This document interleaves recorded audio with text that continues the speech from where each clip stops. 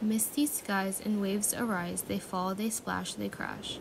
They're roaring loud, the man hears no sound while thick fog surrounds. Without his realization, the entire world he sees as he peers into the ocean, looking up at the mist. It fills the sky as it fills his eyes.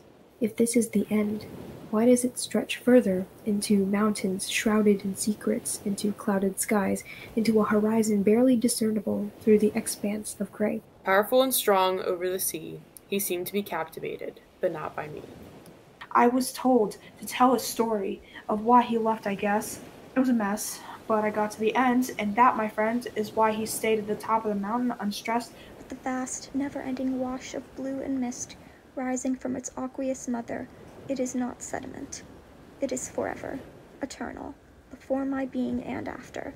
It is the conqueror. It's not the feeling of vastness that scares me, the overwhelming enormity of the world. It's the fall,